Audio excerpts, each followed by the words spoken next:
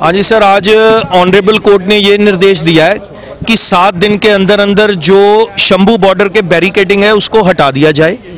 इसके साथ हरियाणा सरकार और पंजाब सरकार दोनों को निर्देश दिए हैं कि लॉ एंड ऑर्डर को मेंटेन रखा जाए।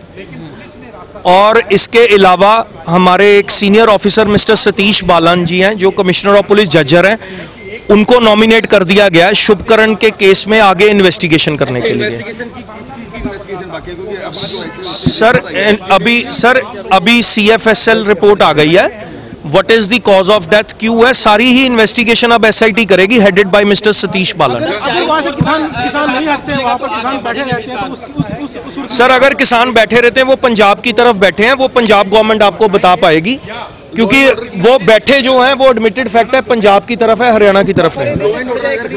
अगर लॉ एंड ऑर्डर खराब होता है तो दोनों ही स्टेट्स को निर्देश है उसको मेंटेन करना है। तो whatever action is required at the at that point of time will be taken in accordance with law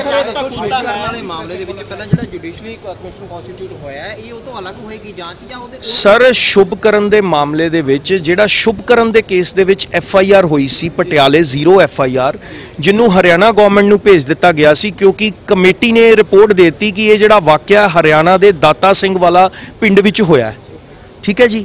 ਉਸ ਆਧਾਰ ਤੇ ਕੋਰਟ ਨੇ ਇਹ ਨਿਰਦੇਸ਼ ਦਿੱਤੇ ਸੀ ਪਿਛਲੀ ਵਾਰ ਕਿ ਇਹ ਜਿਹੜਾ ਇਨਵੈਸਟੀਗੇਸ਼ਨ ਕਿਉਂਕਿ ਇਹ ਅਕਰੰਸ ਹਰਿਆਣਾ 'ਚ ਹੋਈ ਆ, ਇਹਦੀ ਇਨਵੈਸਟੀਗੇਸ਼ਨ ਹਰਿਆਣਾ ਪੁਲਿਸ ਹੀ ਕਰੇਗੀ ਤੇ ਹਰਿਆਣਾ ਪੁਲਿਸ ਨੂੰ ਇਹ ਕਹਾ, ਕਿਹਾ ਗਿਆ ਸੀ ਕਿ ਤਿੰਨ ਸੀਨੀਅਰ ਆਈਪੀਐਸ ਆਫੀਸਰਸ ਦੇ ਨਾਮ ਦਿੱਤੇ ਜਾਣ, ਜਿਨ੍ਹਾਂ ਵਿੱਚੋਂ ਕੋਰਟ ਇੱਕ ਅਫਸਰ ਨੂੰ ਐਸਆਈਟੀ ਇਨਵੈਸਟੀਗੇਸ਼ਨ ਕਰਨ ਲਈ ਚੁਣੇਗੀ। ਹੁਣ ਅੱਜ ਅਸੀਂ ਤਿੰਨ ਨਾਮ ਦਿੱਤੇ ਸੀ ਜਿਹਦੇ ਵਿੱਚੋਂ ਮਿਸਟਰ ਸਤੀਸ਼ ਬਾਲਨ ਜੋ IG commissioner of police Jhajjar ਹੈਗੇ ਆ ਉਹਨਾਂ ਨੂੰ ਨੋਮੀਨੇਟ ਕਰ ਦਿੱਤਾ ਹੈ ਸ਼ੁਭਕਰਨ ਵਾਲੀ ਐਫ ਆਈ ਆਰ 'ਚ ਇਨਵੈਸਟੀਗੇਸ਼ਨ ਕਰਨ ਲਈ मेरी याचिका ये थी कि किसान अपना एमएसपी के लिए प्रोटेस्ट कर रहे हैं जो कि उनका जो कि उनके राइट टू प्रोफेशन के अंडर आता है और उनका राइट बनता है कि वो अपने फसलों का मिनिमम मिनिमम सपोर्ट प्राइस लें और उनको सारे राइट हैं प्रोटेस्ट करने के। तो मैंने सबसे पहले याचिकाएँ डाली, फिर कुछ किसानों के खिलाफ पड़ी, फिर कुछ साथ में पड़ी। वो मेरी पिटीशन के साथ जज साहब ने अटैच कर दी थी। बट पिछली 28 मई की तारीख को मैंने बहस की कि शंभू बॉर्डर पे जो शंभू बॉर्डर जो पिछले छः महीने से बंद है इसको खुलवाया जाए कि कितने टाइम तक स्टेट इसको बंद रखना चाहता है। तो इस पे इसके ऊपर स्टेट ऑफ़ हरियाणा ने ऑब्जेक्ट किया कि ये पार्शली खुला है नेशनल हाईवे। उसको अ, उसको हमने आ, काउंटर करते हुए बोला कि ये कोई खुला नहीं है मेरे मेरे पास आ, फ़िज़िकल एविडेंस था तो हमने वो पेश किया। उसके बाद जज साहब ने स्टेटस सीख किया बाय वे ऑफ़ एफिडेविट। जो कि इस डेट पे आज एफिडेविट आया कोर्ट में और उसके ऊपर बहस हुई। उसमें एफिडेविट में लिखा हुआ था कि ये पब्लिक ऑर्डर को मेंटेन करने के लिए स्टेट ऑफ़ हरियाणा ने बंद कर रखा है।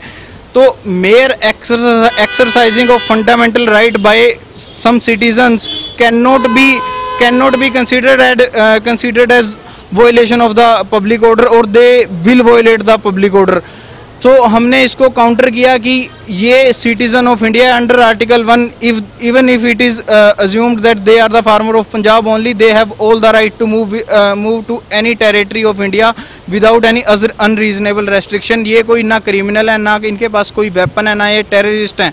वो तो इनका मूलभूत अधिकार है दिल्ली जाने का तो आज जज साहब ने कॉन्स्टिट्यूशन की प्रोविज़न और फैक्ट्स को कंसीडर करते हुए ये ऑर्डर पास किया कि ये शंभू बॉर्डर एक हफ़्ते के अंदर अंदर स्टेट ऑफ़ हरियाणा को डायरेक्ट किया कि इसको खोल दिया जाए। नहीं तो क्या किसानों के लिए भी कुछ निर्देश है कि आगे जा सकते हैं, नहीं जा सकते? स्टेट ऑफ़ हरियाणा ने बोला कि ये बॉर्डर बंद कर रखा है पंजाब किसानों ने, पंजाब में।